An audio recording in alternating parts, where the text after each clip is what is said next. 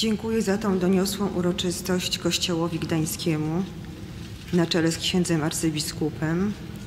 Dziękuję przedstawicielom innych religii i wyznań, bo wiem, że Paweł życzyłby sobie tego i zawsze organizował spotkania ekumeniczne.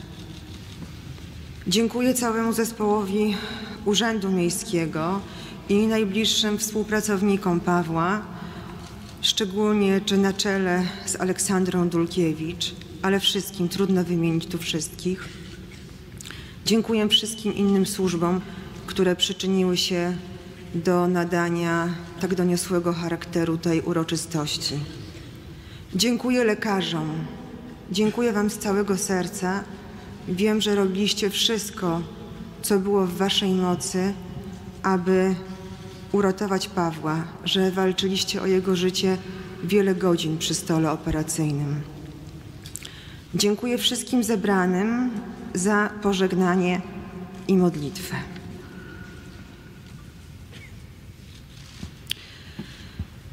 To jest cudowny czas dzielenia się dobrem.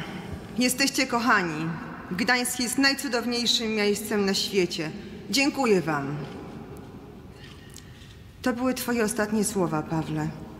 Po nich odszedłeś ze światełkiem do nieba.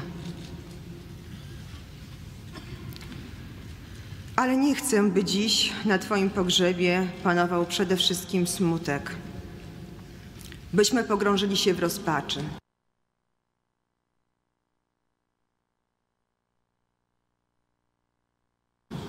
To prawda, jest nam dziś bardzo ciężko, ale chcę właśnie teraz podziękować Bogu, że wiele lat temu skrzyżował nasze drogi, że dzięki niemu poznałam człowieka,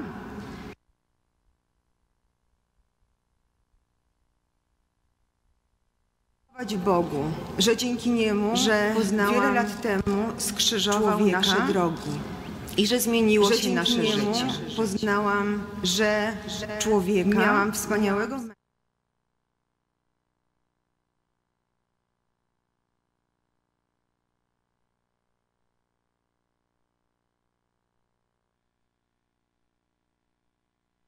pięknych lat. Mamy mnóstwo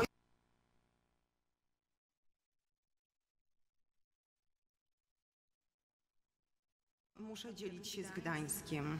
Kocha i potrzebuje Ciebie.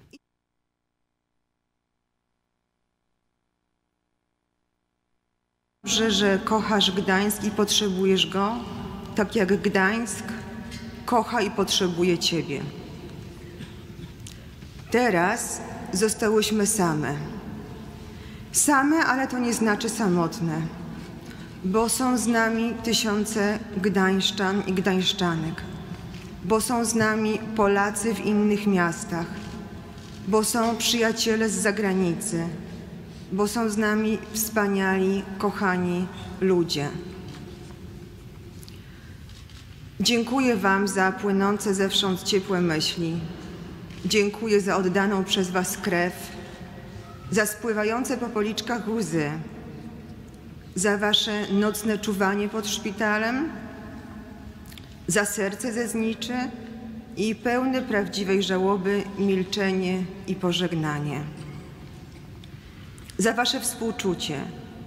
I jeżeli prawdą jest, że pamięć jest nieśmiertelnością, to w nas Paweł będzie zawsze.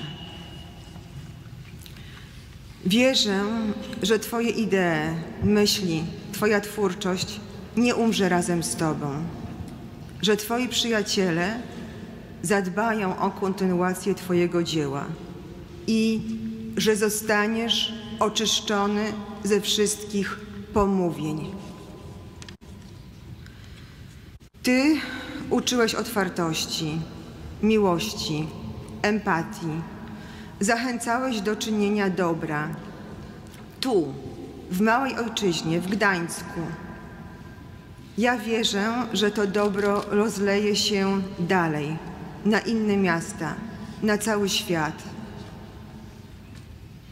że podziały zaczną się zacierać, że skończy się fala nienawiści. Kochani, Wasze myśli dają nam siłę, ale ta siła jest nam teraz bardzo potrzebna, bo nadchodzi trudny czas, by się pozbierać, by na nowo uporządkować opustoszały nagle świat, odnaleźć się w nim, oswoić osierocone miejsce przy stole, biurko, przy którym ręcznie pisałeś swoją książkę i wszystkie myśli. Pusty fotel. Pawle, wiem, że to będzie dla nas bardzo trudne, bo jak odnaleźć się w świecie, kiedy już nie można ufnie przytulić się do Twojego dużego ramienia, poczuć ciepła Twoich dłoni, usłyszeć Twojego dobrego głosu wspomóc się Twoim serdecznym słowem, Twoją radą, Twoją troską. Musimy nauczyć się żyć bez Ciebie, powoli, krok po kroku, dzień po dniu. Chociaż jak można otrzeć łzy, skoro wciąż nowe napływają do oczu? Pawle, czasami powtarzałeś, że potrzeba ci chwili wyciszenia, spokoju. Rozumiałam to, ale nie rozumiem, dlaczego ta chwila ma trwać wieczność. Wiem, że spotkamy się kiedyś znowu, tym razem już na zawsze.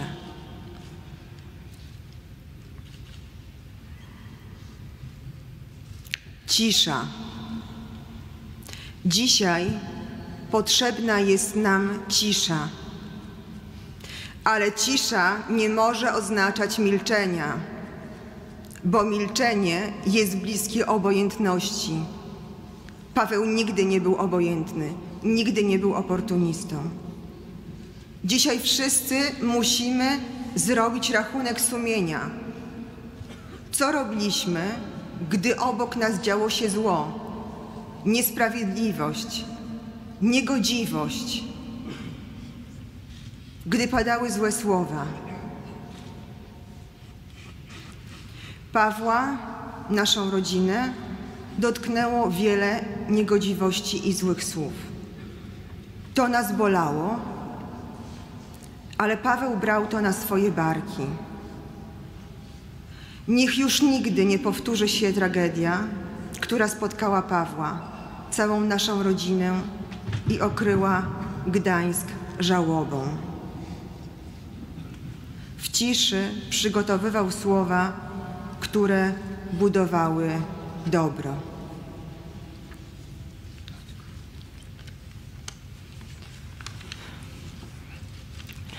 Drogi, najdroższy Tatulku, chcę Ci dziś podziękować za całe Twoje życie, za życie, które spędziłeś z nami, z mamusią, z Tereską, z dziadkami, z Gdańskiem. Chcę Ci dziś podziękować za nasze wieczorne spacery z Twoim ulubionym pieskiem Zeusem. Za to, że nauczyłeś mnie miłości do książek, historii, ciekawości świata. Za to, że najpiękniej na świecie potrafiłeś czytać mi i opowiadać. Za to, że zawsze miałeś czas, by wytłumaczyć mi sprawy, których nie rozumiałam. Dziękuję Ci za nasze wspólne, długie rozmowy.